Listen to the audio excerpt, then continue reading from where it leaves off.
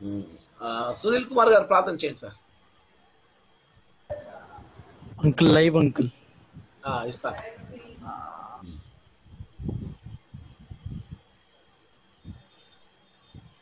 Start చేయండి సునీల్ సునీల్ గారు praise start చేయండి ప్రార్థన స్తోత్రం దేవ స్తోత్రం తండ్రి పరిశుద్ధ ప్రేమ మేడ నమ్మకం కలిగినటువంటి దేవ ఈ యొక్క పరిశుద్ధ పాదములకు వెళ్ళని స్థుతులు స్తోత్రములు చెల్లించుకుంటున్నాం. నా ప్రభా గడిచిన కాలం అంతా మీ బంగారు రెక్కలు చేయడం భద్రపరిచి ఇదిగో నా ప్రభా ఈ సాయంకాల సమయం ముందు నా తండ్రి ప్రభా ఇలా రెక్కల వర్క్షాప్లో నా తండ్రి పార్టిసిపేట్ చేయడానికి అనేక దినముల తర్వాత నా తండ్రి ఇచ్చిన ధన్యత కొరకు మీకు వందనములు చెల్లించుకుంటున్నాం ఇక్కడ చేరిన ప్రతి ఒక్క బిడ్డని దీవించండి. అనేక తలాంతరులను ఇచ్చినంత ప్రభావ ఆశీర్వదించండి. సమస్తము నా తండ్రి మీకు మహిమార్థమైన తండ్రి నేను ప్రభావ వాడబట్టుకు వారికి తగు జ్ఞానం అనుగ్రహించమని వేడుకుంటున్నాం నడిపించున్నటువంటి నా తండ్రి నా తండ్రి ప్రభా శాలేం గారికి అలాగే నా తండ్రి రాజేష్ గారికి కూడా దీవించండి. వారి కుటుంబాలను దీవించండి ఆశీర్వదించమని వేడుకుంటున్నాం ప్రభా రానే ఉన్నటువంటి బిడ్డల కొరకు ప్రార్థన చేస్తున్నాం. ప్రభావాన్ని సకాలంలో నా తండ్రి నేను ప్రభావ వచ్చి దీని ఆశీర్వాదములు పొందుకుంటే కృపణ దయచేయమని సమస్తంలో మేలు చేసి తృప్తిపరచమని ఏసై అతి శ్రేష్టమైన నామంలో బ్రతిమలాడి పెడుకుంటున్నాం తండ్రి. ఆమెన్.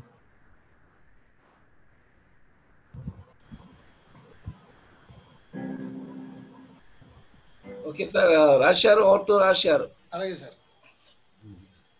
ఆ, సార్ ఫస్ట్ గారండి ఈరోజు ఆ, ప్రార్థిత పాట రిలీజ్ ఉన్నట్టుందండి. కానీ తను రాలేదు. ఇంకా అంటే ఇక్కడ కాదు కదండి అది సంగీత క్లాసులు చేస్తున్నట్టున్నారు అక్కడ అంటే ఇక్కడ ఉండే వాళ్ళు కూడా అక్కడే. ఉన్నారు. కాబట్టి చూద్దాం. ఒకవేళ వస్తే తను తనతో మాట్లాడి ఎయిట్ థర్టీకి మనం అందులో జాయిన్ అయ్యి చేద్దాం. అంటే మీ అది అవసరమైతే అది నైన్ థర్టీ అది నైన్ థర్టీ అండి. ఇది ఫుల్ స్క్రీన్ రావాలంటే ఏం చేయాలండి? ఇదిగోండి ఇక్కడ స్లైడ్ షోకి వెళ్ళండి. టాప్లో స్లైడ్ షో. Top Slides. లో టాప్ లైన్. హోమ్ అది కాదండి. ఇంకా టాప్లో. టాప్లో వెళ్ళి ఇక్కడ from from current current side అంటే మీరు కరెంట్ సైడ్ అంటే అది.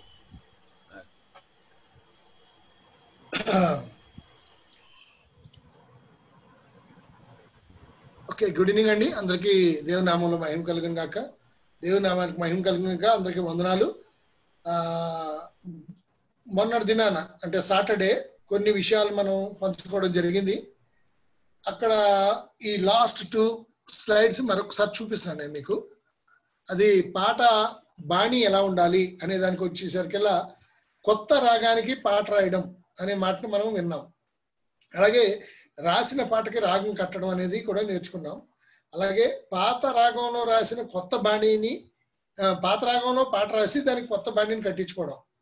అలాగనే వేరే భాషలోని పాట తీసుకుని దాన్ని తెలుగులోకి రాసుకోవడం. అలాగే ట్రాక్ మ్యూజిక్ ఉంటే దానికోసం పాట రాసుకోవడం. ఇటువంటి విధానాలు కొన్ని మనం చర్చించాం. ఆ తర్వాత అంశాల విషయానికి వచ్చేసరికల్లా రకరకాల అంశాలు తీసుకుని మనం పాట రాయొచ్చు. నిన్న కూడా ఆ మాట మీద కొద్దిసేపు మాట్లాడడం జరిగింది. ఫర్ ఎగ్జాంపుల్ చేతులు అనే మాట మీద నేను నిన్న కొంత వివరణ ఇచ్చాను.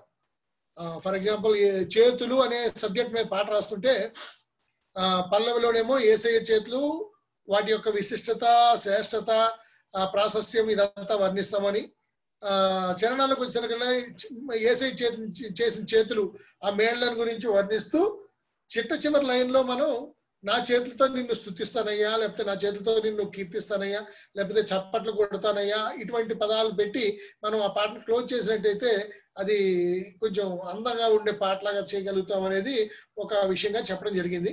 ఇక్కడ వరకు మనకి మన సాటర్డే అయ్యింది. ఇక మనం క్రైస్తవ విధానంలో వెళ్తున్నాము. సో ఇక్కడ ఏమవుతుందంటే కొన్ని పదాలు కొన్ని మాటలు మనల్ని ఇబ్బంది పెడతా ఉంటాయి. అటువంటి మాటల్ని వాడొచ్చా లేదా అనే ఒక మీమాంస మనకి వస్తూ ఉంటుంది. సస్పెన్స్లో ఉండిపోతూ ఉంటాం. లైక్ ఇప్పుడు అదృష్టము అనే మాట ఉంది. అదృష్టం అనే మాట యొక్క వ్యుత్పత్తిలోకి వెళ్తే అదృష్ట దేవత అని ఒక హిందూ విధానంలో ఒక ఆచార ఒక ఆలోచన ఉంది వాళ్ళకి. ఆ దేవత ఏం చేస్తుందంటే ఎవరికి కావాలంటే అది ఆ టైంకి ఇస్తుంది అనమాట కాబట్టి అదృష్టం అనేది ఆ దేవతకు సంబంధించిన మాట. దీన్ని మనం క్రైస్తవులుగా మనం ఈ అదృష్టం అనే పదాన్ని వాడితే అంటే వీఆర్ బిలీవింగ్ దట్ అదృష్ట దేవత ఈజ్ దేర్ అంతే కదండి? ఒకవేళ మన అదృష్ట దేవత ఉంది కాబట్టి అదృష్టం అనే మాటను కూడా మనం వాడుతున్నాం అనే భావన వస్తుంది బయటికి. సో ఇటువంటి పదాన్ని మనం వాడడం అంత సమంజసం కాదు అనేది ఒక భావన. ఈ మాటలు ఎందుకు చెప్తున్నానంటే మీరు గబుకుని వాడినప్పుడు వీలైతే దాని పర్యాయ పదాన్ని వెతికి రాసుకోండి. ఇక తప్పదు అంటే రాసుకోండి. దాన్ని నేను నిషిద్ధం చేయడం లేదు కానీ నిషిద్ధ పదం అని చెప్తున్నా అంతే. అలాగే యేసు కథ అనే మాట వాడడం. సండే స్కూల్ పాఠాల విషయంలో కూడా మనం ఈ మాట ఎక్కువ వింటూ ఉంటాం. రెండు పిల్లలు కథలు చెప్పుకుందాం ఇవాళ అంటారు. యాక్చువల్గా బైబిల్లో ఏవి కూడా చాలా వరకు కథలు అయితే లేవు. అన్ని వృత్తాంతాలే ఉన్నాయి. జరిగిన సంఘటనలు ఉన్నాయి. కథ అంటే కల్పిత గాథ. సమస్య ఏంటంటే మనకి తెలుగు భాషకి భాషా విస్తీర్ణం తక్కువ అని నేను చెప్పాను కదా. ఆ కారణాల్లో ఈ కథ అనే పదం కూడా మనం వాడేసుకుంటున్నాం. కథ అంటే ఏంటంటే లేని దాన్ని ఉన్నట్టుగా చెప్పడం. అనగనగా ఒక ఊర్లో ఓ రాజుగారు ఉన్నారు. ఆయనకి ఏడుగురు కొడుకులు. ఇది కథ. అనగనగా యేసుప్రభు ఉన్నాడు. ఆయన ఈ లోకానికి వచ్చాడు అంటే అది కథలా చెప్తే మనం అంటే అది లేని దాన్ని మనం ఉన్నదట్టుగా చెప్తున్నట్టే కదా. ఏమంటే యేసు ప్రభు గురించి అనగనగా చెప్పగలవా? మనం చెప్పండి. నో వే కదండి? కాబట్టి కథ కాదు. సో ఇటువంటి పదాలు వాడేటప్పుడు మనం జాగ్రత్త వహించాలి. అలాగే విధివశాన అంటారు. ఆ? నా కర్మ అంటారు. లేకపోతే పునర్జన్మ అంటారు. అలాగే దృష్టి తగిలింది అంటారు దృష్టి. తల తలరాత నసీబ్ తలరాత అంటారు. ఇవన్నీ కూడా ఈ భారతదేశ సాంప్రదాయానికి సంబంధించిన మాటలే గాని క్రైస్తవ్యానికి ఏమాత్రం పొంతన కుదిరే మాటలు కాదు. ఈ మాటల్ని మనం వీలైనంత వరకు మన సాహిత్యంలో రాకుండా ఉండేటట్టు చూసుకుంటే మంచిది. ఇక లేదు తప్పదు మేము రాస్తామండి అలాగే రాస్తామంటే రాసి వాళ్ళు చాలా మంది ఉన్నారు. రీసెంట్గా నేను ఏదో పాట విన్నాను అందులో నేను నోచిన నోములు ఫలించాయి అని రాశాడు ఒక క్రైస్తవ కవి. నోచిన నోములు ఫలించాయంట. అంటే నోములు నో నోచడం అంటే ఏంటి? హిందూ దేవుళ్ళకి వాళ్ళు రకరకాల పూజా కార్యక్రమాలు చేస్తూ ఉంటారు. పూజల్లో కూడా రకాలు ఉంటాయి. వాటిలో నోము నోచడం అనేది అంటే ఆ- ఆ దేవుణ్ణి అర్చన చేయడం అనేది నోము అంటే. అటువంటి పదాన్ని తీసుకొచ్చి ఆయన వర్ణించి అంటే నేను హిందూనే ముందు క్రైస్తవు ఉన్నాయని కాబట్టి నేను ఆ పదాలు వాడాను అని చెప్పి ఆయన వివరణ ఇచ్చారు. సరే ఇంక మనం ఏం చేయలేము అటువంటి దానికి కాకపోతే మనం ముందు తెలుసుకుంటున్నాం. ఇప్పుడు ఏంటంటే వర్క్షాప్లో ఉన్నాము వర్క్షాప్లో ఇలాంటి జాగ్రత్తలు కొన్ని తెలుసుకోవడం వల్ల రేపు మీరు రాసే పాటల్లో అటువంటివి రాకుండా ఉండేటట్టు చూసుకుంటారనేది సూచన. అంతే అంతకుమించి ఇంకేం కాదు. అలాగే భగవంతుడు ఈశ్వరుడు అమృతం. అమృతం అనే పదాన్ని మనం చాలా సమృద్ధిగా వాడుతూ ఉంటాం. ఎందుకంటే మృతము లేనిది అమృతం అని మన భావన. కానీ అమృతం అనేది పూర్తిగా హైందవ సాంప్రదాయానికి సంబంధించింది. పాల సముద్రాన్ని మదించారంట దాంట్లోంచి గరణం వచ్చిందంట ఆ తర్వాత అమృతం వచ్చిందంట అమృతాన్ని దేవతలందరూ తాగారంట. అందుకని వాళ్ళు శాశ్వతంగా బతుకున్నారట. ఇది వెనకాల టా ఉంది అన్నిటికీ కూడా. కదండి? ఆ అట అట అట ఉంటాయి అన్నిటికీ. క్రీస్తు గురించి చెప్పే దాంట్లో అటాలు ఉండవు వాస్తవాలే ఉంటాయి. కాబట్టి మనం ఇటువంటి పదాలు వాడేటప్పుడు జాగ్రత్త వహించవలసి ఉంటుంది. అలాగే తాండవము అని అంటారు. తాండవం అనే పదాన్ని పాటల్లో చాలా మంది వాడారు. తాండవం అంటే ఏంటి? నృత్యం చేయడం. ఇది నటరాజ తాండవం అంటారు. లేకపోతే శ్రీకృష్ణుడు ఆ పాము పడక మీద ఎక్కి పైన ఎక్కి ఇక్కడ నాట్యం చేశాట దాన్ని తాండవం అంటారు. ఆ మాటలు మనం వాడడం ఎంతవరకు సమంజసం అనేది చెక్ చేసుకోవాలి. అలాగే నైవేద్యము సంగీత సరస్వతి విగ్రహము ఇలాంటి పదాలు చాలా ఉన్నాయి. ఈ పదాలని కొంతవరకు మనం విడిచిపెట్టి పర్యాయ పదాలు లేకపోతే వేరే దానికి మనకి పనికొచ్చే వేరే పదాలని వాటి స్థానంలో వాడుకుంటే ఉత్తమమేమో అనేది నా సూచన. ఏమండి? నెక్స్ట్ ఉచ్చారణ దోషాలు. ఒక పదాన్ని పలికేటప్పుడు ఎందుకంటే ఇప్పుడు మనం రికార్డింగ్లో చాలా సమస్యలు ఎదుర్కొంటూ ఉంటాం. నిన్న దినాన శ్యామ్ గారు వచ్చి ఆయన రికార్డింగ్లో ఎదుర్కొని కొన్ని సమస్యల గురించి మాట్లాడారు ఆయన. ఎందుచేత? ఆయనకి అపారమైన అనుభవం ఉంది. ఎంతో మందితో పాటలు పాడించారు. ఆయనే రికార్డింగ్ చేశారు ట్యూన్ చేశారు. ఇటువంటి అనుభవం ఉన్న వ్యక్తి దగ్గరికి వెళ్ళేసరికల్లా మనం తప్పు దొరుకుతాం టక్కనే అప్పుడు ఇలా కాదు అన్నాడు అనుకోండి అక్కడ మనం ఏం చేస్తాం అంటే మన గొప్ప కోసం ఫర్ ఎగ్జాంపుల్ పాట రాసాము మనం. ఆ పాట పాడే వాళ్ళు వచ్చారు ఇంకా వాళ్ళతో పాటు కొంతమంది స్నేహితులు కూడా తీసుకెళ్ళాం. వీళ్ళందరి ముందు ఎస్ పాట ఈయనే రాశాడండి ఈ పాట ఈయనే రాశాడంటే మనకు కొంచెం హ్యాపీ హ్యాపీగా ఉంటా ఉంటుంది. ఆ టైంలో సౌండ్ ఇంజనీర్ గారు మనకి మన భాషా దోషాన్ని ఎత్తి చూపించారు.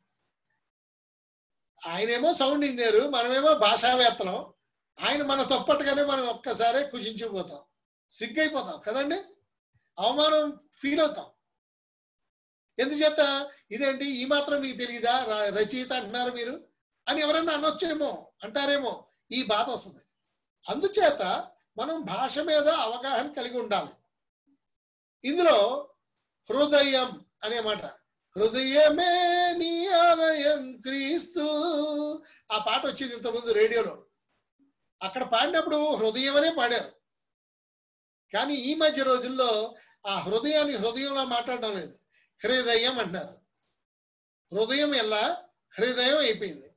ఎంచేత హా అనే దాన్ని హాలాగే పలకాలి దానికి ఒట్రసుడు ఇవ్వాలి కాబట్టి అది హృదయం కాదు హృదయం అంటున్నారు అలాగే మరి ఇప్పుడు కృతజ్ఞత ఏమనాలండి?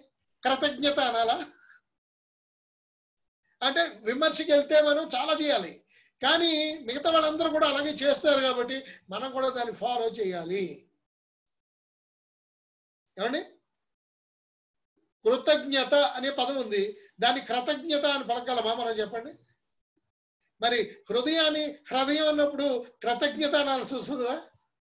ఈ వాదం ఉంది కానీ అందరూ ఫాలో అవుతున్నారు కాబట్టి మనం కూడా ఫాలో అవ్వాలి. గౌకు చెప్తాడు ఆయన ఎవరో అప్పుడు మీరు ఒకవేళ సమర్థించుకోగలిగితే ఓకే హృదయమైనా వాడుకోండి. అలాగే ఫలము. చాలా మంది ఫలాన్ని ఏమని పలుకుతారంటే ఈ రోజుల్లో ప్రత్యేకించి ఈ రోజుల్లో అయితే ఫలము అని పలుకుతున్నారు ఎఫ్ అనే శబ్దంతో పలుకుతున్నారు. సీతా ఫలము ఆ? ఫలించు అంటే ఫలించు అని పలుకుతారు. ఎందుచేత ఈ మాట ఎలా వచ్చింది అంటే చిన్నప్పటి నుంచి మనం తెలుగు కాకుండా ఏబిసిడి నేర్పిస్తున్నాం ఫస్ట్ అక్షరాలు. మా చిన్నప్పుడు అయితే ఆలు దించేవారు ఆ ఫస్ట్ ఆ రాయాలి తర్వాత ఆ రాయాలి. అవి అయితేనే తర్వాత అక్షరాలు. ఎప్పుడు ఐదో క్లాస్లో ఏబిసిడి దిద్దించారు మా చేత. కానీ ఇప్పుడు ఏంటంటే మూడో ఏట నుంచి ఏబిసిడి దుక్కుతారు ఆ ఆ తర్వాత ఐదో తరగతినో ఆరో తరగతినో ఆలోచిస్తున్నారు ఇప్పుడు. మారిపోయింది ట్రెండ్ మారిపోయింది. ఇంగ్లీష్ రన్నింగ్ uh, ఎక్కువైపోయింది. ఓకే ఆ ఇంగ్లీష్ యొక్క ఇన్ఫ్లుయెన్స్ ఆ ఎఫ్ అనే శబ్దం యొక్క ఇన్ఫ్లుయెన్స్ తెలుగులో ఉన్న ప అనే అక్షరమే పడింది. వాస్తవానికి పాప బాబమ్మ ఆ గణాన్ని తీసుకుంటే పా గణాన్ని తీసుకుంటే పా ప బా భ మ. ఇది శబ్దం. పా ఫ. అంటే ఎంత తప్పుగా ఉంది అక్కడ? అంటే మనం ఒకసారి నెమరు వేసుకుందాం నెమరు వేసుకుంటే తెలిసిపోద్దా తప్పేంటో ప పా ఫ బా భ మ ఇది కదా మనం చదివేది? మరి ప ఫ అని అనుకోండి ఇది ఏదో తప్పుడు అక్షరం ఇక్కడ వచ్చింది అనేది అర్థమవుతుంది కదా? మరి మనం వాడే వాడేటప్పుడు మాత్రం ఫలము అంటున్నాం. ఇది తప్పు అనేది మనం తెలియకుండానే వాడేస్తున్నాం కదా? ఈ జాగ్రత్త కూడా తీసుకోవాలి. ఎందుకంటే ఆత్మ ఫలములను ఫలించుము. కదా? పాట ఉంది కదా? ఆత్మ ఫలాల్ని ఫలించు అని. అక్కడ ఫలము అంటారా ఫలము అంటారా? మీరు రాసే పదంలోనే రావ మీరు పాట రా- మీరు పాట రాస్తుంటే దాంట్లో ఫలం రావచ్చు. అవి వచ్చినప్పుడు ఈ తప్పుదేం వస్తే మాత్రం జాగ్రత్త వహిస్తారని ఈ మాట చెప్- ఈ మాట చెప్తాను. అలాగే రాత దోషాల్లో యా అన్న అక్షరానికి మా అన్న అక్షరానికి భేదం.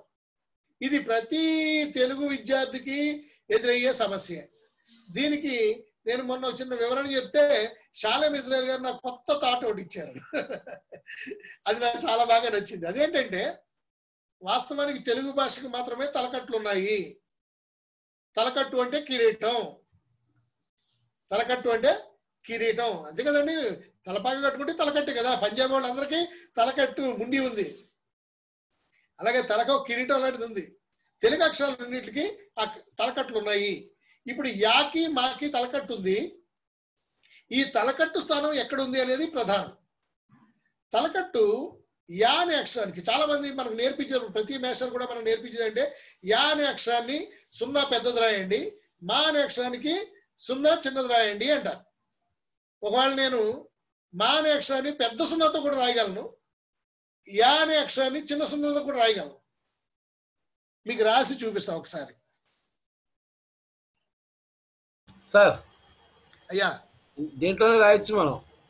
వైట్ బోర్డ్ వైట్ బోర్డ్ మీద. అప్ప మీరు మామూలు నోట్బుక్ మీద రాస్తారు రాయండి నోట్బుక్ మీద రాయండి ఆ. రాయండి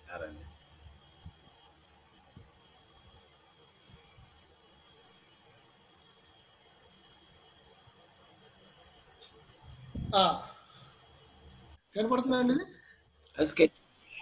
ఇప్పుడు ఇప్పుడు కనిపిస్తుంది ఎస్ చిన్న సున్నాతో యా రాశాను. పెద్ద సున్నాతో మా రాశాను భేదం కనపడిందండి అలాగే. కనపడుతుంది మా అలాగే కనపడుతుంది కానీ సున్నాలు చూడండి ఒకసారి సైజు. ఈ భేదాన్ని మనం గ్రహించుకోకపోతే తప్పు జరిగిపోతూ ఉంటది. కానీ చాలా మంది ఏం చేస్తారంటే ఈ సున్నా సూత్రం కాకుండా మనం నేర్చుకునే సూత్రం ఏంటంటే ఇందాక అన్నాం కదా కిరీటం. శాలం గారు చెప్పిన మాట. కిరీటం అంటే తలకట్టు. ఈ తలకట్టుని యా అన్న అక్షరం ఏం చేసిందంటే దాని పక్కన పెట్టుకుంది. మా అన్న అక్షరం మాత్రం నెత్తిమే పెట్టుకుంది. అంటే దీనికి ఏం చెప్తారంటే మహారాజులో రాజుగారికి కిరీటం నెత్తిమే ఉంది యువరాజు గారి కిరీటం ఇంకా పక్కనే ఉంది. అలా గుర్తుపెట్టుకోండి. ఒక మొండి గుర్తు. జీవితంలో ఎప్పటికీ మర్చిపోలేము ఎప్పటికీ మర్చిపోకుండా ఉండి మొండి గుర్తు మొండి గుర్తు. ఆ? మా కిరీటం ఎప్పుడు ఉంటది ఎక్కడ ఉంటది శిరస్సు మీదే ఉంటది. మా రాసినప్పుడు కిరీటాన్ని పైకి తీసుకురండి. యువరాజు ఆయన ఇంకా ఇంకా ఏంటి ఆ, సీట్లో కూర్చోలేదు ఆయన. ఆ, ఆయనకి జరగవలసిన కార్యక్రమం ఇంకా జరగలేదు. ఆ, ఇప్పుడేంటి? ఆయన ఇంకా కిరీటాన్ని పక్కనే పెట్టుకున్నారు అనమాట అంటే తలకట్టు పక్కన ఉంటది సున్నాకి పక్కన తలకట్టు ఉంటే అది యా. సున్నా పైకి తలకట్టు ఉంటే అది మా కాబట్టి మహారాజుని యువరాజుని గుర్తుపెట్టుకోండి. రైట్ తర్వాత ముద్రా రాక్షసాలు ప్రింట్ డెవిల్స్ అంటారు అక్షర దోషాలు వీటిని. ఈ అక్షర దోషాలు మనం టైప్ చేసేటప్పుడు చాలా పడతా ఉంటాయి. వీటిలో సరళ అక్షరాలు పరుషాక్షరాలు అంటే ప ఫ బ భ ఈ రెండు అక్షరాల్లో మొదటిదేమో సరళం రెండోదేమో పరుషం. మొదటి అక్షరాన్ని పలికినప్పుడు గాలి లోపలికి వెళ్తుంది రెండో అక్షరాన్ని పలికినప్పుడు గాలి బయటకు వస్తుంది గమనించారా కాక్క చాచ టాట పాప బాబా ఏ అక్షరం అయినా సరే మొదటి అక్షరానికి గాలి బయటకు వస్తుంది దాన్ని సరళం అంటాము. లోపలికి వెళ్తుంది మొదటి అక్షరానికి సరళానికి గాలి లోపలికి వెళ్తుంది పరుషానికి అక్షర గాలి బయటకు వస్తుంది సో ఈ అక్షరాలు రాసేటప్పుడు చాలా మంది దీనికి బదులుగా దాన్ని దానికి బదులుగా దీన్ని రాస్తూ ఉంటారు. బాధ రాయాలి. దీంట్లో దేనికి ఆ రేఫ ఉండాలి చెప్పండి? బాధ అనే మాట ఉంది కదా. నేను నొక్కి పలకడం లేదు. ఎందుకంటే మీకు తెలిసిపోద్ది ఇవ్వాలి. సింపుల్గా బాధ అంటున్నాను. వాస్తవానికి అలా పలకూడదు బాధ అన్న పదానికి దేనికి కింద ర్యాఫ్ ఉండాలి? బాకుండాలా దాకుండాలా? దాకుండాలి. దాకుండాలి. బాధ కానీ చాలా మంది బాధ అని రాస్తారు. దేనికి ఉండాలో తెలియక. హైదరాబాద్లో పెద్ద పెద్ద హోర్డింగ్లు బోర్డుల మీద కూడా ఈ తప్పులు ఉంటాయండి బాబా వాటిని చూసినప్పుడు వెళ్దాం నేను అనుకుంటాను ఇవన్నీ ఫోటో తీసి ఒక పుస్తకం రాయొచ్చు బాబు. రెస్పాన్సిబిలిటీ రెస్పాన్సిబిలిటీ తెలుగులో ఏమంటారు రెస్పాన్సిబిలిటీని తెలుగులో ఏమంటారు? బాధ్యత. బాధ్యత. ఆ, దేనికి ఉంది రేప? రేప దేనికి ఉంది దాకుంది అంకుల్ ఆ, దాకుంది కరెక్టే. సెక్యూరిటీ? సెక్యూరిటీ. తెలుగులో తెలుగు సెక్యూరిటీ అనే తెలుగు పదం ఏంటి చెప్పండి? మాస్టర్ గారు అక్క కాదు బాతో. బాతోనండి. ఆ, పోలీసులు ఏమంటారండి? భటులు రక్షక భటులు. ఆ, భటులు అంటారు కానీ భద్రతా దళాలు అంటారు కదా. భద్రత. ఆ సెక్యూరిటీ అనే మాటనే ఆ పదంలో అప్పుడు ఆ- ఒత్తు దాకుండాలా బాకుండాలమ్మా? భా బాగుండాలి మాస్టర్ గాండి భద్రత అనుకుంటున్నాను చూసారా? అదే మీకు ఆ- సందేహం వచ్చినప్పుడు వెంటనే ఏం చేయాలంటే డిక్షనరీకి వెళ్ళిపోవాలి. కరెక్ట్ పదం చూసుకోవాలి. దాన్ని మనం కళ్ళతోనే ఫోటో చేసుకోవాలి. అంటే ఇంకోసారి ఆ పదం వచ్చినప్పుడు ఈ రేఫ అక్కడ కానీ అక్కడ రేఫ ఇక్కడ కానీ ఉందంటే మీ ఫోటోలో తేడా కనబడుతుంది. ఇదేంటి ఈ అబ్బాయి ఎదురుగాలి కదా అన్నట్టు ఉంటుంది. ఎక్కువగా బుక్స్ చదివే అలవాటు ఉండే వాళ్ళకి ఈ ఒత్తులు తెలుస్తుంటాయి సార్. అవునండి. కేవలం వినే వాళ్ళకైతే అర్థం కాదు. అందుకనే కథ రథము వాటికి ఒత్తు ప్రార్థన ప్రార్థన మనం ఎక్కువగా వాడేది ప్రార్థన. అవన్నీ కూడా కింద ఒత్తుత్తా రాయాలండి అంటే కళ్ళ అది కూడా చదివిన వాళ్ళు కూడా అది కరెక్ట్గా కనపడక దా అనుకుంటారు. అదో ప్రాబ్లం. అవునండి. ప్రార్థన కింద చాలా మంది రా కింద మామూలుదా రాస్తారు. ఇది అవును. సరళం రాస్తారు. అసలు ఇంగ్లీష్ రాస్తారు డిహెచ్ఏ రాస్తారు. అవునండి. సరళం అయితే అసలు లేనే లేదు దానికి. దానికి ఏంటి? తా తర్వాత ఉన్న థా అవును. కానీ ఇప్పుడు అది కామన్ అందరూ అదే రాస్తున్నారు కాబట్టి ఇంకా అదే కరెక్ట్ అయిపోయింది. అయిపోతుందండి అంతేనండి మరి ఇప్పుడు. ఇప్పుడు చెరకు ఉందండి బండిరా ఉండేది ఇంతకు ముందు అవును. ఇప్పుడు మామూలు రా అయిపోయింది. అలాగే పాటలు రాయడం వా కింద రావత్తు ఉండేది. ఉమ్, అది పోయింది. రాకు దీర్ఘమిస్తే రా రాస్తున్నాం. అది. అంటే ఏ అంటే ఇప్పుడు ఈ నవీన భాషా వేత్తలు ఏమంటున్నారంటే ఎలా మాట్లాడుతున్నారో ఉచ్చారణ ఎలా ఉందో అలాగే రాసేయండి అంటున్నారు అదండి. ఇదిగోండి ఇప్పుడు పైన ఇక్కడ ఉచ్చారణ అన్న మాటలో చాకు కింద ఒత్తుచ్చా వస్తుంది అవునండి. ఎవరు గుర్తించరు దీన్ని? దాన్ని ఉచ్చారణ. ఆ, దీన్ని ఎవరు గుర్తించరు? మామూలుగా మిమ్మల్ని డిక్షనరీ రాయమని ఎవరికైనా అప్ చెప్తే ఈ ఈ రేఫర్ లేని చా రాస్తారు కావాలంటే. ఇప్పుడు శక్తి గల అంటారా శక్తి గల అంటారా అంకుల్ అది? ఏమండి? ఆ, అసలు మూడు అక్షరాలు పలకండి. సా సా సా. తెలుగులో ఉన్న సాలు మూడు పలకండి. అంకుల్ గుర్తులేవు అంకుల్. పలకండి పర్వాలేదు. మామూలుగా పలకండి. సా స. ఆ, ఆ, ఆ, సా ఆ, షా. ఇంకోటి షా. ఇంకోటి షా. దీనికి మీకు మొండి గుర్తు చెప్తాను. హంస. అంకుల్ హంసలో స.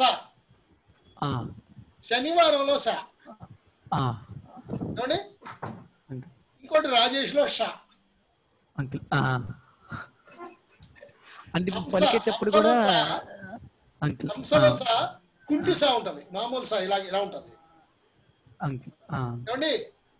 శనివారంలో సా మెలికల్ సా ఉంటది. అంకుల్ రాజేష్లో షా పాల ఉండి వెనకాల తోక ఉంటది. అంటే పలి పలికేటప్పుడు మరి శక్తి అని పలుకుతారా శక్తి అని పలుకుతారా అంకుల్ అది? శనివారంలో షా పలకాలండి. కానీ మనకేమైందంటే ఎస్హెచ్ఏ షా పలుకుతారు జనం. అదే uncle? Okay uncle. Influence of English అనమాట అది. ఇప్పుడు శనివారంలో మన సే పలుకుతారు శనివారం అంటారు మనం ఆ అందుకనే శనివారం శనివారం శనివారంలో చాలా బాగా పలుకుతారండి అందరు కూడా. ఆ, శనివారం అంటారు శక్తి అంటారు. శక్తి ఒకటే అక్షరం. లాగా ఇక్కడ శనివారం లాగా శక్తి అనాలి. ఆ, లేకపోతే శనివారం లాగా శనివారం అనాలి అప్పుడు. శనివారం అనాలండి అక్కడ. నువ్వు శక్తి అంటే శనివారం అనాలి అప్పుడు. అది. అందుకనే మనం కొన్ని వాటికి అంటే మనం మర్చిపోతూ ఉంటామండి ఎందుకంటే వాడుకం తక్కువ కదా. చూడండి ఆసక్తి. ఆసక్తిలో మామూలు సా. మామూలు సా హంసలో సా. మన అందరూ ఆసక్తి అని పలుకుతారు. అదే ఇంగ్లీష్. ఎస్హెచ్ఏ అనండి ఇది ఇన్ఫ్లుయెన్స్ అంతా ఎస్హెచ్ఏ తెలుగు పదాలు ఇంగ్లీష్ తెలుగు పదాలు ఇంగ్లీష్లో రాసుకునేటప్పుడు అలా రాయక తప్పదు. అవునండి. ఇంకా పరిశుద్ధత అనే దగ్గర కూడా పరిశుద్ధత అని వాడితే సరిపోతుంది అంకుల్ అది? ఆ శనివారంలో సా శబ్దాన్ని పలకండి. ఓకే ఒకటే పాయింట్. శనివారంలో సా దాన్ని ఎలా పలుకుతున్నారు మీరు? స- ఆ, ఆ, శని శనివారం శనివారాన్ని శని అంటారు కదా? Okay uncle. శనివారం అంటారు కదా? శకుంతల శకుంతల. ఆ శకుంతల శనివారం. శనివారం మనం రెగ్యులర్గా వాడేది కదండి. ఆ, అవును. శనివారం అనే శబ్దాన్ని మనం చాలా రెగ్యులర్గా వాడుతూ ఉంటాం కాబట్టి షా అనే మాటని మనం గుర్తు పెట్టుకోవడానికి సానే శనివారంలో సా అందాం హంస హంసలో సా ఆ సాయేమో మరొక సా షా అదేమో రాజేష్ అనే మాటలో ఉన్న షా అంటే నేను గుర్తు పెట్టుకుంటాను. సునీల్ గారు ఓకేనండి నెక్స్ట్ నెక్స్ట్ స్లైడ్కి వెళ్దాం.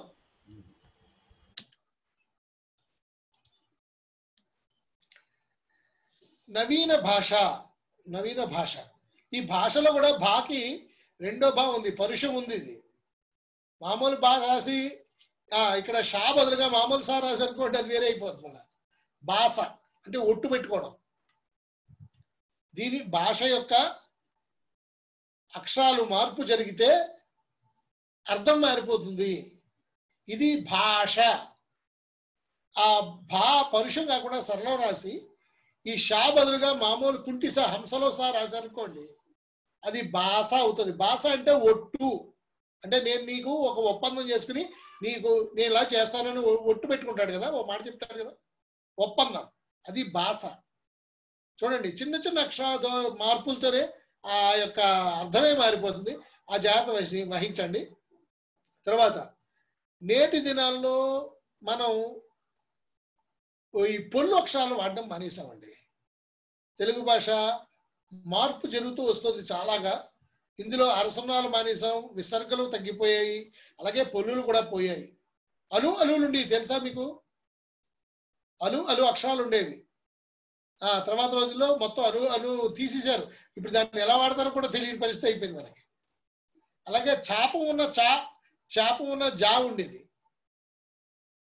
వాటిని కూడా తీస్తారు వాడటం లేదు. బండిరా ఉండేది తీస్తారు దాన్ని కూడా. సో ఇలాగే ఈ పొల్లు అక్షరాలు కూడా వాడటం మానేశారు.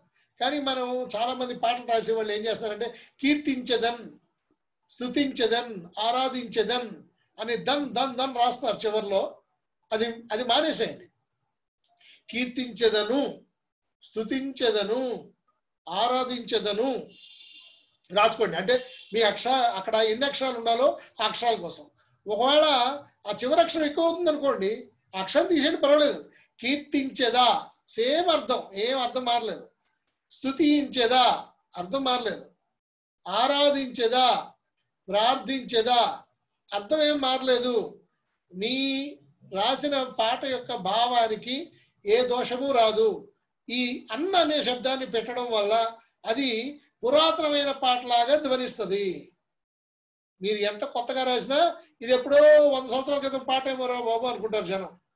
మీ కొత్త పాట కొత్త పాటలాగా ఉండాలంటే ఈ పొల్లు అక్షరాలని విడిచిపెట్టేయండి. అలాగే వాడుక భాషని మీ పాటల్లో వాడండి.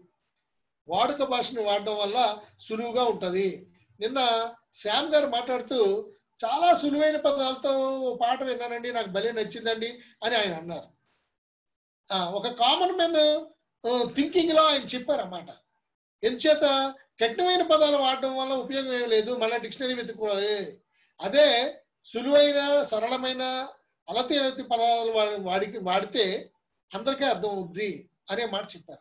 షాలం ఇజ్రాయల్ గారు పాటలో అయ్య బాబోయ్ అనే పదాన్ని వాడారు. అది వాడుక భాషలోని మాట. అయ్య బాబోయ్ అనే మాట చాలా రెగ్యులర్గా వాడుతూ ఉంటాం మనం. అలాగే కొన్ని పదాలు ఏం చెప్పేది? అంటాం మనం వాస్తవానికి ఏమి చెప్పేది? ఇది గ్రాంధికం. ఏం చెప్పేది? అన్నది మన వాడుక. కానీ పాటలో అలాంటి పదాలు కూడా వాడడం వల్ల పాట ప్రజలకి దగ్గర అవుతుంది. ఏమండి? నెక్స్ట్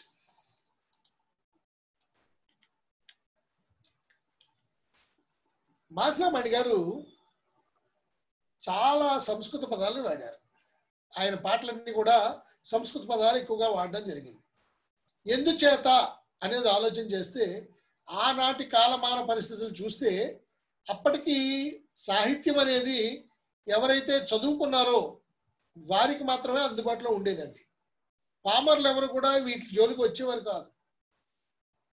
ఆ కారణం చేత సాహిత్యం ఎవరికైతే అందుతుందో వాళ్ళకి రీచ్ అయినప్పుడు ఆ పదాలనే వాడాలి అనే ఒక నియమం ఉండడం చేత ఆ పదాలనే వాడడం జరిగింది. వారి పాటల్లో ఎక్కువగా సంస్కృత పదాలు కనపడతా ఉంటాయి. హే ప్రభు యేసు అనే మాట నిన్న వాడాం. హే ప్రభు అనే మాట హే అనేది సంస్కృత పదం. దాన్ని చక్కగా వాడాడు. ఇంకా ఆయన పాటల్లో చూస్తే విస్తృతంగా ఉంటాయి సంస్కృత పదాలు. ఇంకా శాలేం గారి పాటల్లో మొట్టమొదటి చిన్నపిల్లల పాటలు నేర్పిస్తూ వాటిలో ఇంగ్లీష్ పదాలని చాలా ఎక్కువ వాడారు ఆయన. ఇది కూడా చాలా రీచింగ్ అండి. ఎందుకంటే మనం చాలా పదాల్ని తెలుగులోనే వాడేస్తున్నాం ఇంగ్లీష్ పదాలని. కదండి? ఇప్పుడు మంచినీళ్ళు తాగే గ్లాస్ ఉంటుంది కదా? దాన్ని మీరు తెలుగులో ఏమంటారు చెప్పండి? గ్లాస్ని తెలుగులో ఏమంటారు? గ్లాస్ అనేది ఇంగ్లీష్ పదం కదా? దాన్ని తెలుగులో ఏమంటారు చెప్పండి?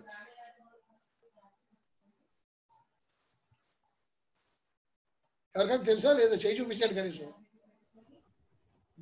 గ్లాసు. ఏమండి? గ్లాసు. గ్లాసు అనేది ఇంగ్లీష్ పదం నేను చెప్పేది. మీరు దాన్ని రూపాంతరం చేశారు అంతే తెప్పించి దానికి అర్థం చెప్పడం లేదు. తెలుగులో సీసా గలాస్ అన్నట్టు గలాస్ అంటారేమోనండి కలాస్ అంటారేమో కదా పల్ బ్రదరు గల గలాసు కూడా గ్లాసు యొక్క రూపాంతరమే. అవునవును. సీసా అనరు అంకుల్. సీసా. లోటా రాజేష్ గారు. లోటా కూడా కదండి లోటా కూడా తెలుగు పదం కాదు. ఆ సంగతి తెలుసా మీకు? లోటా అనేది ఉర్దూ పదం. ఎస్ ఇటువంటి మీమాంస మనకు ఉంటుంది ఆ? ఉర్దూ పదాలు చాలా వచ్చేసారు. ఎందుకంటే ముస్లిమ్స్ మన మనల్ని పరిపాలించారు కదండి చాలా నిజాం నిజాం నవాబు ఉండడం చేత ముస్లింలు కూడా పరిపాలించడం చేత మనకి ఉర్దూ పదాలు తెలుగు భాషలో చాలా కలిసాయి. లోటా అనేది ఉర్దూ పదం అండి అది.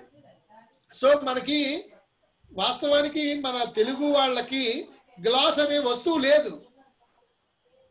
ముంత ఉండేది ముంత. ఏముండేదండి మట్టి పెడతా. చెంబు మిడత ముంత. ఆ ఇటువంటివి ఉండేవి. మూకుడు. ఇటువంటివి ఉండేవి. సో అందుచేత మనకి గ్లాస్ అనేది లేదు. ఇంగ్లీష్ వాళ్ళు వచ్చిన తర్వాత వాళ్ళు గ్లాస్ తెచ్చుకున్నారు. దీన్ని ఏమంటారంటే గ్లాస్ అన్నాడు ఆయన. మనకు అర్థం కాక గళాసు అన్నాం దాన్ని.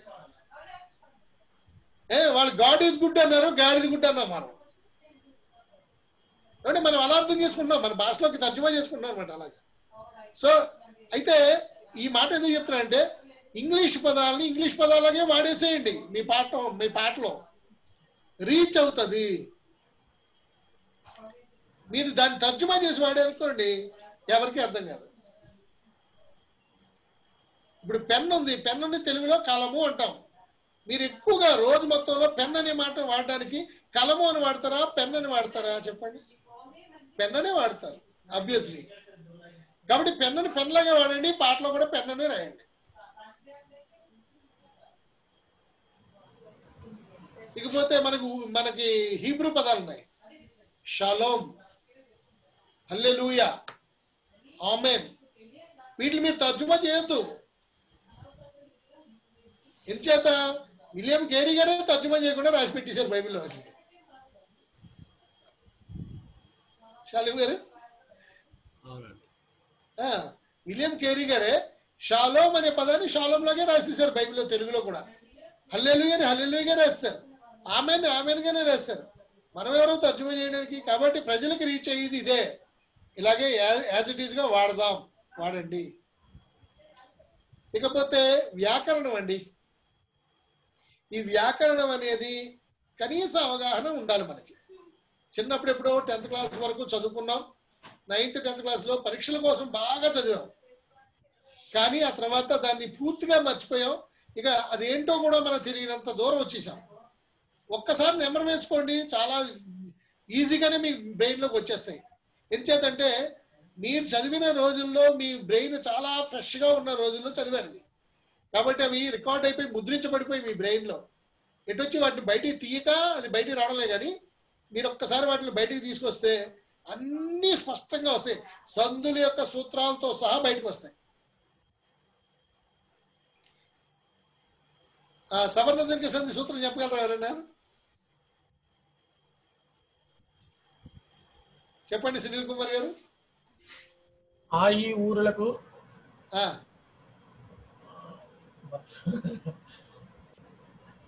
సవర్ణ దీర్ఘ సంధి నేను అడిగింది. నేను మీరు ఏ సంధికి చెప్తున్నారు చెప్పండి. నేను గుణసంధికి చెప్పాను. ఆ కరెక్టే. గుణసంధికి చెప్పాను. ఆ గుణసంధికి చెప్పబోయారు. ఆ. ఆ, దిరుక్త టకార సంధి సూత్రం చెప్పండి. కూరు నీడు చిరు కడలు ఆ, చూసారా? ఉంది. లోపల ఉంది. మనకు వస్తుంది బయటకు అది కూరు చిరు కడు నిడు శబ్దములు రడల ఖర్చు టకారం మగు నిట్టూర్పు. ఆ నిడు ప్లస్ ఊర్పు నిట్టూర్పు. చిట్టెలుక. చిట్టెలుక అది. ఇవన్నీ మనం చిన్నప్పుడు చాలా బాగా కంఠస్థం చేస్తాం. మన బ్రెయిన్లో బాగా నిక్షిప్తమై ఉంటది. ఎటొచ్చి ఏంటంటే వాటిని మళ్ళా మనం వాడక ఎక్కడో బూజు పెట్టి ఉండిపోయి లోపల. ఒక్కసారి కదిపితే బయటకు వస్తాయి. సవర్ణ దీర్ఘ సంధికి ఏంటంటే సవర్ణములైన అచ్చులు కలిసినప్పుడు దీర్ఘం ఆదేశం అవుతుంది. సూత్రం ఏంటంటే సవర్ణములైన అచ్చులు. ఇది అది ఒకటే అచ్చు అయినప్పుడు దీర్ఘం వస్తుంది. ఆ ఆ కలిసిందంటే ఆ అవుద్ది. ఈ ఈ కలిసిందంటే ఈ అవుద్ది. ఊ ఊ కలిసిందంటే ఊ అవుద్ది. అది చేసిన సూత్రం. ఆ ఈ ఊలు అచ్చుతో కలిసినప్పుడు ఆతో కలిసినప్పుడు ఏఓఆర్లు ఏర్పడతాయి. ఏఓఆర్లు అనేవి గుణాలు.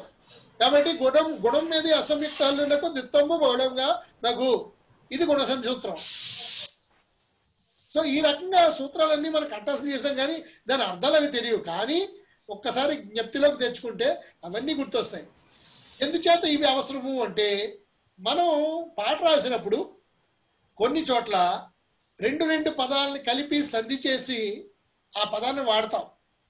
అలా వాడినప్పుడు స- అది సమంజసమైన సంధినా కాదా చూసుకోవాలి.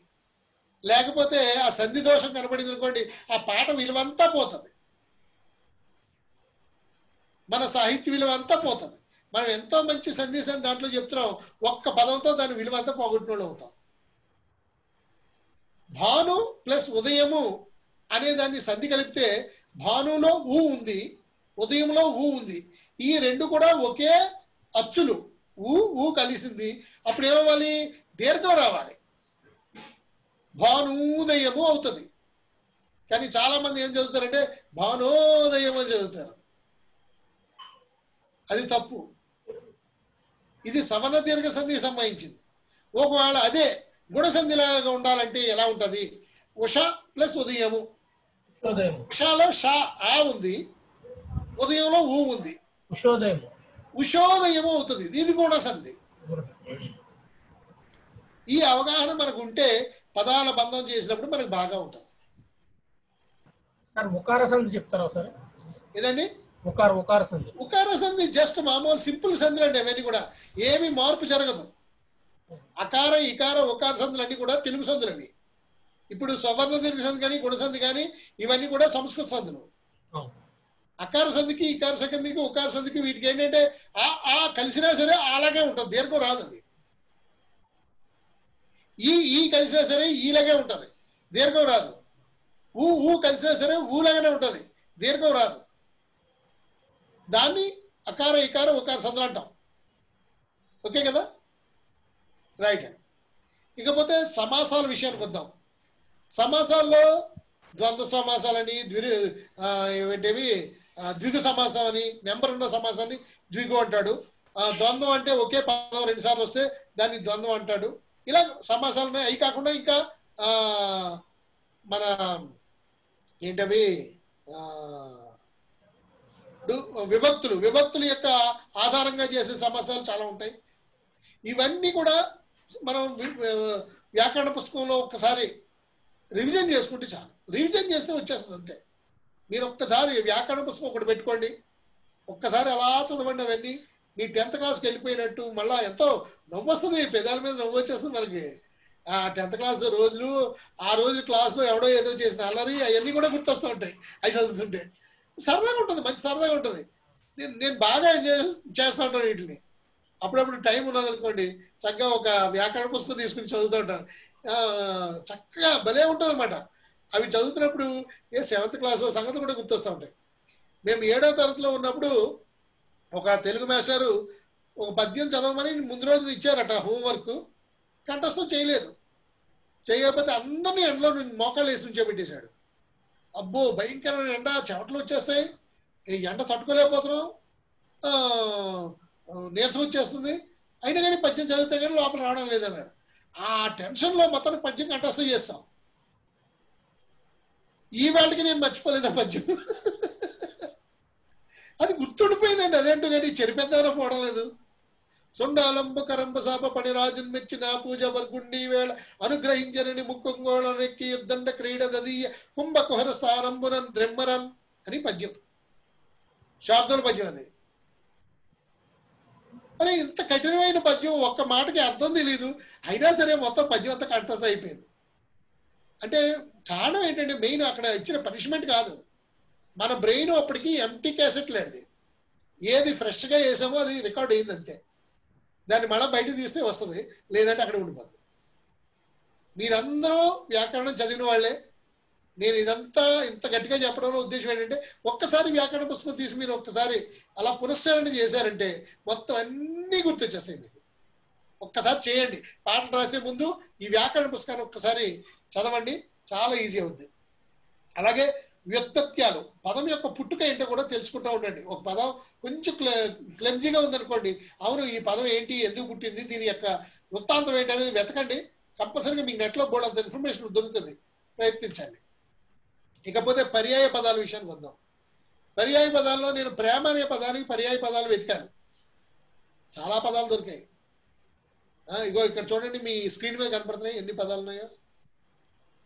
కానీ తెలుగు భాషకి విస్తీర్ణం తక్కువ అని నేను మొదటి నుంచి చెప్తున్నాను. అగపే అనే ప్రేమ ఉంది మన బైబిల్లో. అగాపే అనే ప్రేమ ఉంది. ఆ ప్రేమకు సంబంధించిన ఒక్క అర్థం దీంట్లో లేదు. కింద అర్థాలు ఉంటే ఉపయోగం ఏంటి? కదా? సో ఇవన్నీ కూడా అంటే ఒక పదాన్ని మనం వాడినప్పుడు ఆ పదానికి అనుబంధంగా లేకపోతే దాని స్థానే వేరే పదాన్ని పర్యాయ పదాన్ని వాడాలి అనుకుంటే ఉన్న పదాలు చాలా ఉన్నాయి వాటిని వాడుకోవచ్చు. ఇగో ప్రేమ అనే మాట మనం రెగ్యులర్గా బైబిల్లో మన క్రిస్టియన్ సాంగ్స్లో వాడుతూ ఉంటాం కాబట్టి దానికి ఎన్ని ఉన్నాయో చూడండి. నో- ఎవరైనా నోట్ చేసుకుంటారంటే నోట్ చేసుకోండి లేదంటే ఇది స్క్రీన్ షాట్ కూడా పంపిస్తాను నేను. స్క్రీన్ షాట్ పంపిస్తాను నానార్థాలు నానార్థాల విషయానికి వద్దాం. ఇవేంటంటే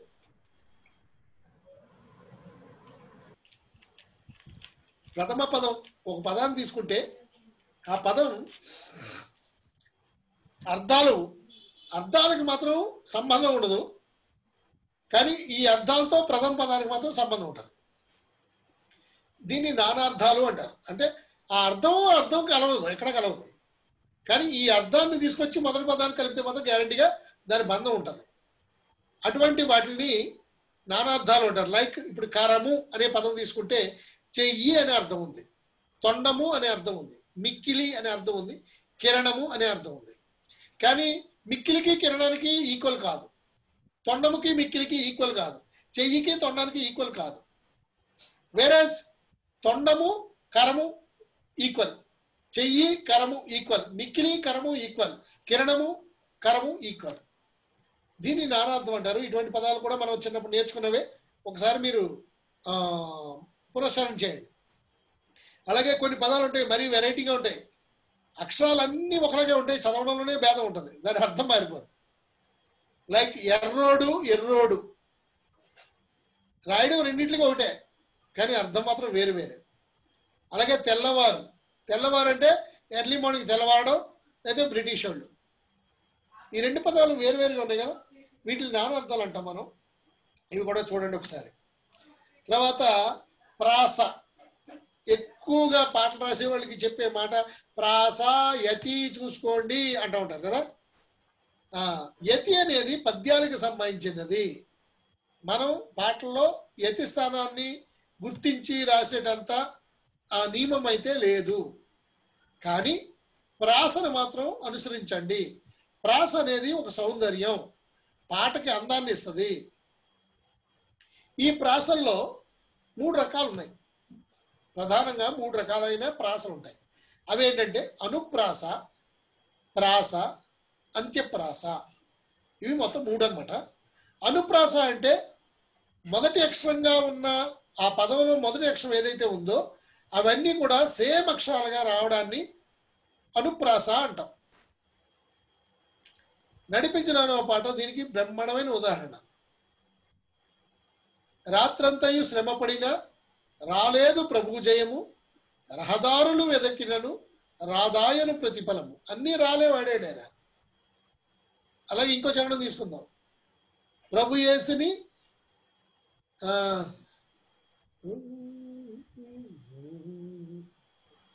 మర్చిపోయాను అది లోతైన జలంలో తీసుకుందాం.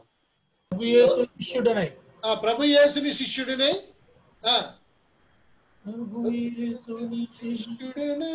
ప్రభు ప్రేమలో పాల్గొ ఆ ప్రభు ప్రేమలో పాల్గొని ప్రకటించిన లోకములో పరిశుద్ధిని ప్రేమ కథ అది పాదుకొని పాదుకొని. అంటే వే- వేరు పారడం ఆ పాదుకొని. వేరు పాదుకోవడం లోపలికి. ఆ, సో ఈ పాలన్నీ వాడాడు ఆయన.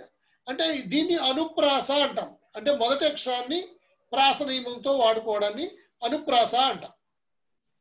ఇక ప్రాస అంటే ఏంటంటే రెండవ అక్షరం ప్రాసక్షరం తెలుగు సాహిత్యంలో రెండో అక్షరాన్ని ప్రాస అంటారనమాట ఇది మీకు అనేకమైన పాటల్లో కనపడుతూ ఉంటుంది. పాత పాటలన్నింటిలోనూ కూడా చాలా క్లియర్గా కనపడుతూ ఉంటుంది. మనం కూడా రాసే పాటల్లో ప్రాస వస్తూ ఉంటుంది. తెలియకుండానే పడుతూ ఉంటుంది అది. అంటే ఆ ఆ సౌండ్ వినగానే బాగా హాయిగా ఉన్నటువంటి చెవులకి ఇంపుగా ఉంటుంది. అపరాధిని వేసే ఆ పాట ఉందనుకోండి అందులో ప్రాస పక్కగా నియమం పాటించాడు ఆయన. చాలా పాటలు ఉంటాయి లేదని కాదు నేను ఒక ఉదాహరణ చెప్తున్నాను. అన్ని కాలంలో తీసుకోండి ఫస్ట్ మొదటి పాట. అన్ని కాలంబుల నున్న అన్నిలో నా రెండో అక్షరం. ఇక్కడ నున్న రెండో అక్షరం. ఏహోవాని ఎన్నాతరం బాయో కన్నా తండ్రి వన్నెక్కిన మోక్ష. చూసారా? నాలుగు ఎలాగ దొల్లుకుండా వచ్చేస్తున్నాయో కూడా కూడా? దీన్ని ప్రాస అంటారు. ఆ రెండో అక్షరాన్ని ప్రాస అంటారు. ఇక అంత్యప్రాస చివర్లో ప్రాస రావడం. ఈ మధ్య రోజుల్లో ఈ నవీన రచయితలందరూ కూడా ఎక్కువగా అంత్యప్రాస ఆధారంగానే పాటలు రాస్తారు. పాట ఏదోలా ప్రారంభిస్తారు. చివరి మాత్రం క్లోజింగ్ మాత్రం ఒకటే వచ్చేలా చూసుకుంటున్నారు. మంచిదే. ఇది కూడా ప్రాసనీయంలో ఉన్న పాటే మీ అందరూ చాలా చక్కగా రాస్తారు ఈ మధ్య మన వర్క్షాప్లో రాసిన వాళ్ళందరూ కూడా అంత్యప్రాస మీదే పాటలు ఎక్కువ రాశారు. నేను గమనించాను. ఆ? ప్రాస నియమాన్ని పాటించిన వాళ్ళు చాలా తక్కువ మంది. అనుప్రాస రాశారు కానీ అంత్యప్రాస ఎక్కువ మంది రాశారు. అంత్యప్రాస మీ అందరికీ చాలా సులువుగా అనిపిస్తున్నట్టుంది. కాబట్టి అంత్యప్రాస రాస్తున్నారు. మంచిదే. ప్రాసయతి అనేది పద్యాలకు సంబంధించింది. కానీ పాత పాటల్లో మన ఆంధ్రప్రదేశ్ కీర్తనలో చాలా దాంట్లో ప్రాసయతి కూడా వాడబడింది. అది మీరు చూస్తే అర్థమవుతా ఉంటుంది.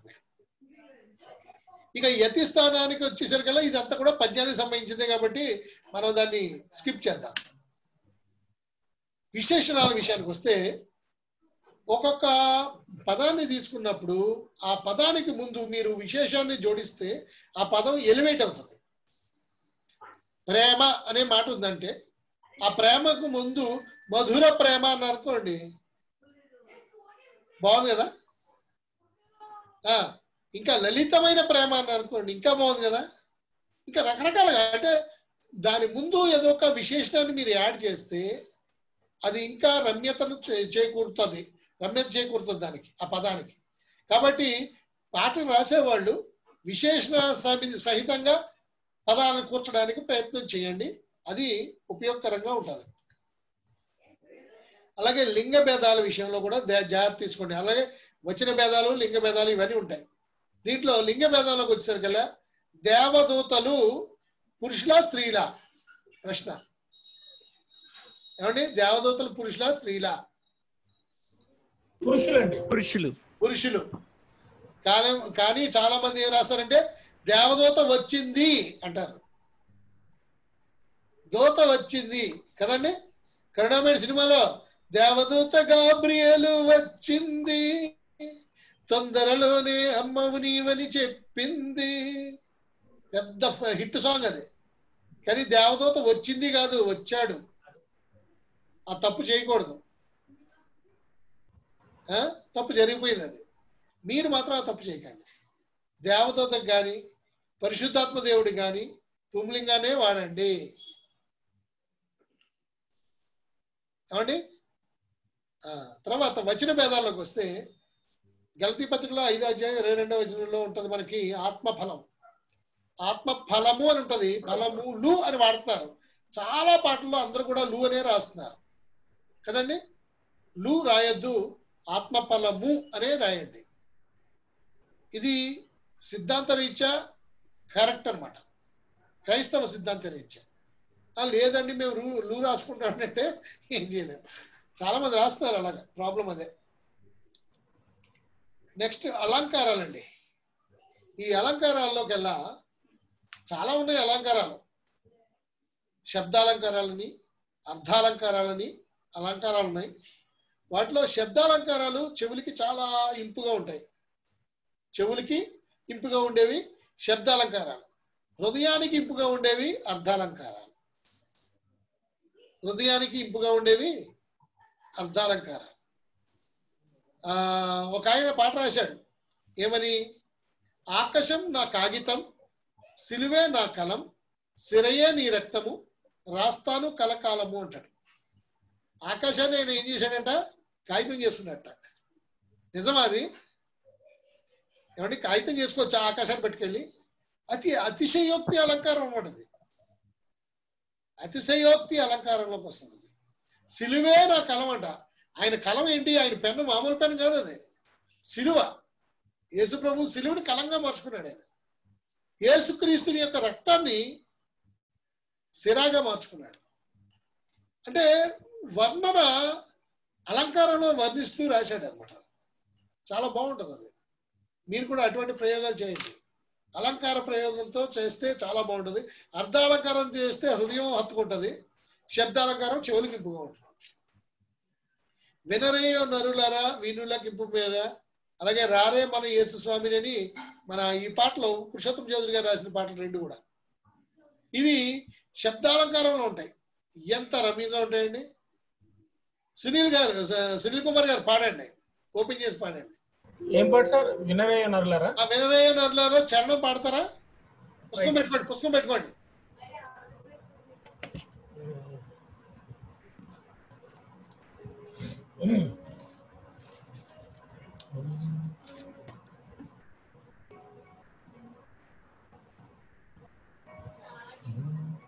వినరియో నరులారా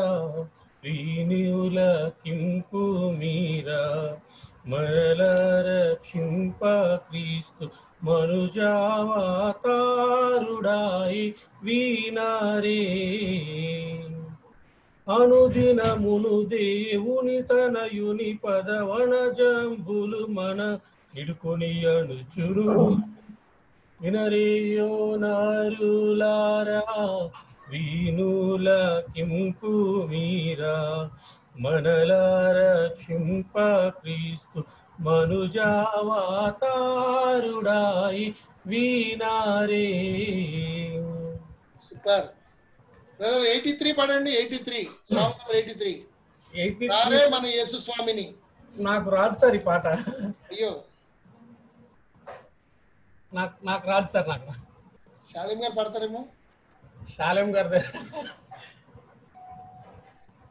రారే మన యేసు స్వామిని చూతాము కోర్కెలురా ప్రియులారా పేర్మిని కూరిమి భక్తుల చేరువ విందట భూరి దయామృత సారములొలికేడు చారు కటాక్ష విశాలే క్షణుడట నారకుర నారకులగు నర నారీ జనులకు తారక మొసగును తానే పిలుచునట దారుణ పాప మహారణ్యమున కారు చిచ్చుగతి గల్పువాడు ఘోర దరిద్రత గూల్చెడివాడ సారం బగుతన సభకు మకుటమట రారే మన యేసు స్వామిని చూతాము కోర్కెలురా ప్రి ప్రియులారా పేర్మిని. ఎంత రమ్యంగా రాశాడండి ఆయన పాట. ఆ? ఇదంతా కూడా శబ్దాలంకారంలో ఉంది. ఇలాంటి పాట మనం ఒకటి రాయగలిగితే ఏమో పాట హిట్ అవుద్ది లేదు పక్కన పెడితే ఈ ప్రయోగం అయితే చేయాలి మనం. ఆ? ఇలాంటి పాట రాయాలంటే ముందు అటువంటి శబ్దాలన్నిటినీ రా అనే అక్షరంతో వచ్చే ప్రాస అంతా తీసుకున్నాడు ఆయన. అవన్నీ ఒక చోట రాసుకుంటాడు ఉంటాడు పాపం. ఆయన కవి కదా రాయక్కర్లేదు ఆయనకి వచ్చేస్తుంది. మనమైతే రాసుకోవాలి పక్కన.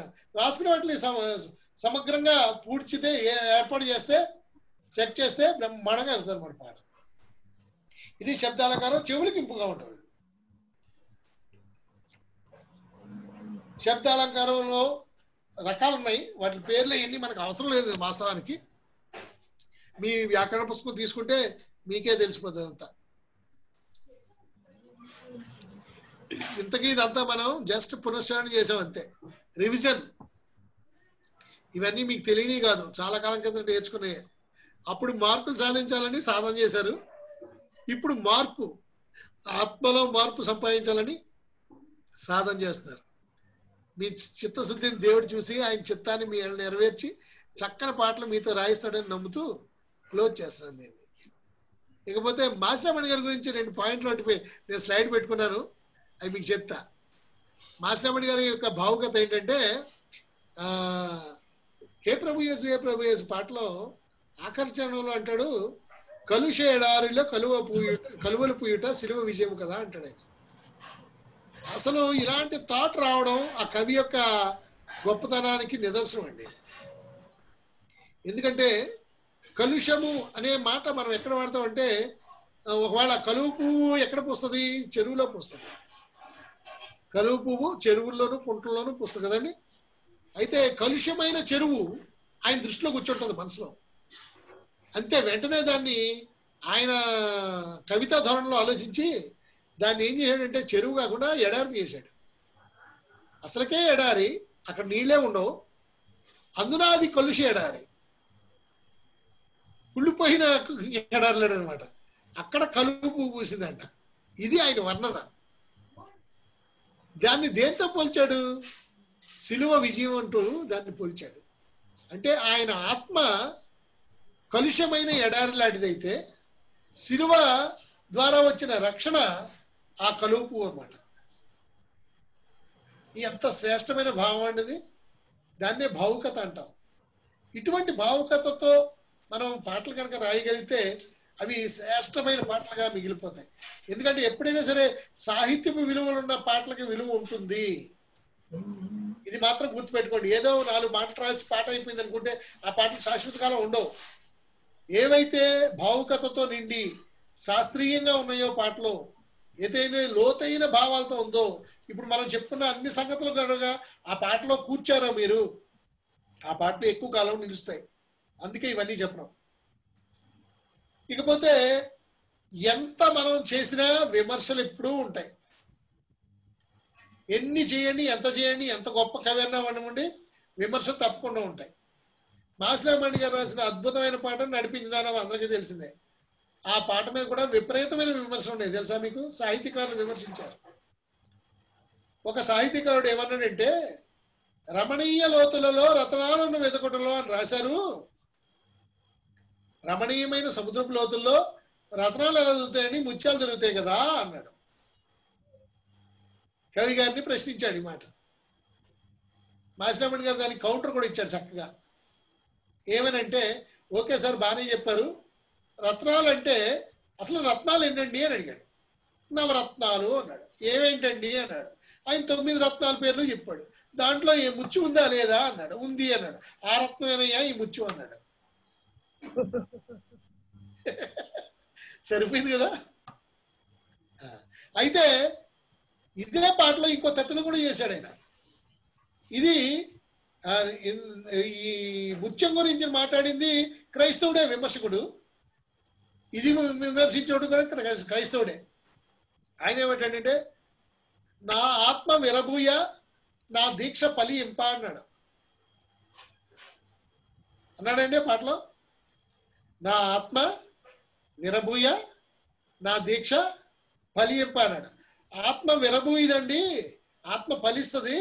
ఆత్మ ఫలం ఉంది కానీ ఆత్మ పువ్వులు లేవు బైబిల్లో అని చెప్పి విమర్శించారు. విమర్శిస్తే దానికి కూడా ఆయన కౌంటర్ ఇచ్చాడు. బాబు ఏ పువ్వు ఏ కాయ కాయాలన్నా పువ్వు పుయ్యాలయ్యా ఏ పువ్వు ఏ కాయ కాయాలి ఏ ఫలం పండాలన్నా పువ్వు అయితే పుయ్యాలయ్యా పువ్వు లేకుండా కాయ రాదు. ఆ? నేను వర్ణించుకుంటా వస్తున్నాను వరుసగాను. నా నా ఆత్మ విరబూసి నా దీక్ష ఫలించింది అంటున్నాను. అగో ఫలం అక్కడ వచ్చింది. నువ్వు కంగారు పడ్డావు అన్నాడు ఆయన సో ఇలాంటి విమర్శలు ఉంటాయి మీరు రాసే పాటలు కూడా విమర్శ వస్తాయి అయితే విమర్శని విమర్శను కూడా వదిలేకండి మీ పాటకి పాపులారిటీ అనుకోండి. ఎప్పుడైతే మీ పాట మీద కొంత చర్చ జరిగిందో ఆ పాట పాపులర్గా ప్రజల్లోకి చాలా బాగా వెళ్తుంది. కాబట్టి ఇది పాజిటివే తీసుకోండి నెగిటివ్ తీసుకోవద్దు. దేవుడు మిమ్మల్ని బలంగా వాడుకోవాలి. మంచి పాటలు రాయించాలి మీ చేత. ఆ విధంగా రాయడానికి దేవుడు తన యొక్క కృపా సహాయాన్ని అనుగ్రహించును గాక అమెన్ అయ్యా పాస్ గారు? ఆ. కొంతమంది ఎఫ్బి లైవ్ ఫేస్బుక్ లైవ్ చూ- ఒక ఇద్దరు ముగ్గురు చూస్తున్నారు. వారికి కూడా చిన్న థ్యాంక్స్ చెప్పండి. యా ఫేస్బుక్లో లైవ్ చూస్తున్న మీ అందరూ కూడా నిండు వందనాలు తెలియజేస్తున్నాం. ఇప్పుడు వరకు మేము చెప్పిన మాటలు మీకు ఉపయోగపడి ఉంటే అది దేవునికి మహిమ.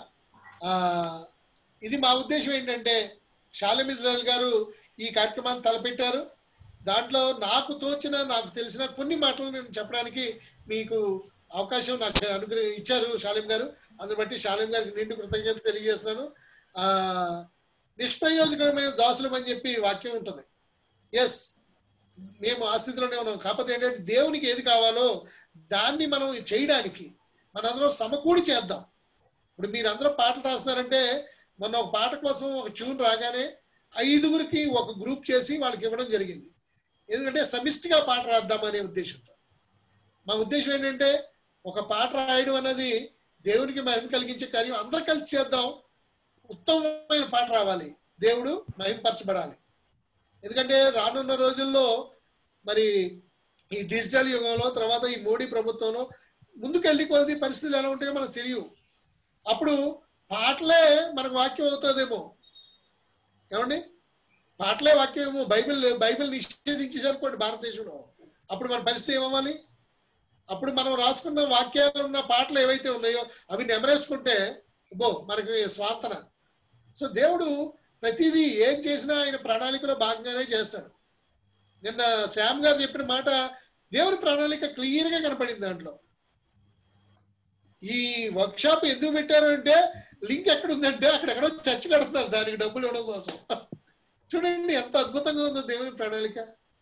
అలాగే ఒక పాస్టర్ సపోర్ట్ ఆ ఇంకో భాష గారికి సపోర్ట్ అది కూడా. ఇలాంటివి అంటే మనకి అర్థం కాని విషయాలు ఇవి. మన మన మన జ్ఞానానికి సరిపోదండి. దేవుని జ్ఞానం ముందు మనం ఎంత ఏ పాటి? మనం ఒక దెబ్బకి రెండు రెండు పెట్లు కొడితే దేవుడు ఒక దెబ్బకి బోర్డు పెట్లు కొడతాడు. అదే మల్టిపుల్ అండి. కాబట్టి దేవుని ప్రణాళికలో మనం ఉన్నామనేది గ్రహించి దేవుని కొరకు ఉత్తమమైన పాటల్ని తయారు చేద్దాం. ఆయన మహిమ కొరకు మనం వాడబడదాం. దానికోసం అందరం సమిష్టిగా కృషి చేద్దాం.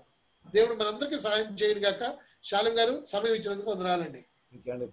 ఫేస్బుక్లో ఉన్న వాళ్ళందరికీ కూడా థ్యాంక్ యూ వెరీ మచ్ అండి. మరి రాశి గారు సార్. రోజు మరి ప్రార్థిత పాట వీడియో రిలీజ్ చేద్దాం అనుకున్నాం. కానీ నైన్ థర్టీకి మహర్షి గారి క్లాస్లో చేద్దామా? అవునండి.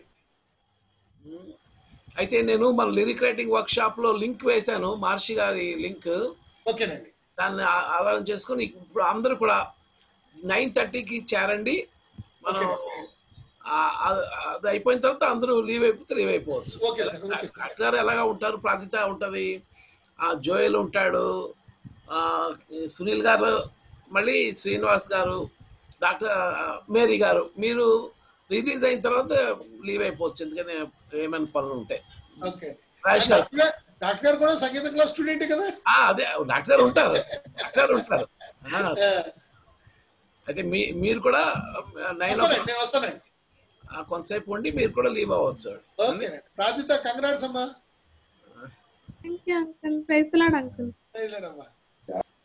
డాక్టర్ గారు ప్రార్థన చేయండి సార్ క్లోజింగ్ ప్రేయర్ ప్రార్థన చేసుకుందామండి. మమ్మల్ని దగ్గరగా ప్రేమించిన మా పరలోకం తండ్రి దేవా ఏసయాన్ని పరిశుద్ధ దివ్యనామస్తులు స్తోత్రాలు. ప్రభా వరకు మరి శాఖ పాస్కార్ గారి జీవజలంలో ప్రభా మరి ఈ పాటలు రాయటం గురించి ప్రభా మరి తాతపూడి రాజేష్ గారి ద్వారాగా మాకు ఎన్నో విషయాలు నేర్పించినందుకు స్తోత్రాలు. ప్రభా మరి వాటన్నిటిని సాధ్యమైనంత వరకు ఫాలో అవుతూ ప్రభా నీ గురించి చక్కటి మంచి ప- ప- పాటలు బా- రాసి మరి ఈ ప్రజలకి ప్రజెంట్ చేసే బాధ్యత మాకు అందరూ దయచేయమని ప్రార్థిస్తున్నాం ప్రభావం మరి తాతపూడు బ- రాజేష్ గారికి ఉన్నట్టు అపార అనుభవంలో ప్రభు మీరు నేర్పిన ప్రతి సం- విషయం కూడా ప్రభు మాకు అందరికీ చక్కగా ఉపయోగపడుతుంది తండ్రి వాటిని మేము గ్రహించుకుని వాటి ప్రకారంగా మేము మరి ముందుకు ప్రొసీడ్ అయ్యే బాధ్యత మాకు దయచేయమని ఆ, మరి షాలా పాస్ గారిని ఆయన ఆ, బ- బ- సంస్థని ప్రభు వారి కుటుంబాన్ని ఆశ్రయించండి వారి పరిచయాన్ని ఆశ్రయించండి. అట్లాగే చేరి వచ్చిన ప్రతి ఒక్కరిని వారి కుటుంబాలను ఆశీర్వదించండి దీవించండి ఆశీర్వదించండి ప్రభానికి స్తోత్రాలు. అట్లాగే ప్రభా మరి డాక్టర్ మహర్షి గారి ద్వారా సంగీత పరిచర్య కూడా మీరు జరిపిస్తున్నారు. మీకు స్తోత్రాలు చెల్లిస్తున్నాం. ప్రభా ఈ రకంగా ఇక్కడ జరుగుతున్నట్టు ఈ కార్యక్రమాలు మీరు దీవించండి ఆశీర్వదించండి. తండ్రి అట్లాగే ప్రభా కరోనా వైరస్ కూడా జ్ఞాపకం చేసుకొనిసయా కరోనా వైరస్ సంపూర్ణంగా తీసివేసి అపవాదిని ప్రభా నీ మీ బిడ్డల దగ్గరికి రాకుండా చేసి నీ రక్షణ దయచేసి దీవించి ఆశ్రమించి పోషించి సంరక్షించమని ఈ మనోళ్ళని ఏసై పుట్టిన నామమును అడిగి వేడుకుంటున్నాం తండ్రి. ఆమేన్. పరమ యొక్క ప్రేమ మన రక్షకుడైన యేసుక్రీస్తు యొక్క అద్భుతమైన కృప పరిశుద్ధాత్మ దేవునికి అన్యోని సహవాసము శాంతి సమాధానం సదాకాలం మనకు మన కుటుంబాలకు మరి ఈ రోజు ఎంతో చక్కగా వివరణ ఇచ్చిన రాజేష్ గారికి వారి కుటుంబానికి తోడే ఉండి వర్ధిల్ల చేయని దాకా మరి ఒకడు మన ఫేస్బుక్ చూస్తూ అడిగారు పాస్టర్ గారు ఎంతకాలం ఉంటుందని. ఓకే. ప్రస్తుతం పది మంది వస్తున్నారు పది మంది కంటే నంబర్ తక్కువైపోతే క్లోజ్ చేసేస్తామని చెప్పాం. ఆ, పది మంది కంటే తక్కువైతే ఈ lyric writing workshop close చేసేస్తాం అది. సార్ అంతే కదా. ఎందుకంటే అది ఇరవై ముప్పై మందికి ఉపయోగపడే మరో ప్రోగ్రామ్ ఏదైనా ఈ టైం ఈ పార్ట్లో పెట్టుకోవచ్చు. అప్పుడు వీళ్ళు కూడా మళ్ళీ అందులో జాయిన్ అవుతారు అంటే ఈ ప్రోగ్రామ్ బోర్ కొట్టేస్తే అప్పుడు కొత్త ప్రోగ్రామ్ కావాలి. అంటే మనకు బోర్ కొట్టలే కానీ వీళ్ళకే బోర్ కొట్టిందేమో అని అనుమానం వస్తుందండి. ఎందుకంటే తక్కువ మంది వస్తున్నారు కదా. అదేలేండి అదే. చూద్దాం. ఇప్పుడు వీళ్ళు కూడా మానేశారు అనుకోండి అప్పుడు మానే- అప్పుడు చేస్తాం అది. రైట్ అండి. రైట్ సార్ రైట్ అండి. థ్యాంక్ యూ అండి. నైన్ థర్టీ నైన్ థర్టీ కల్లా మహర్షి గారి క్లాస్ అలాగే సార్ అలాగే సార్ వస్తానండి.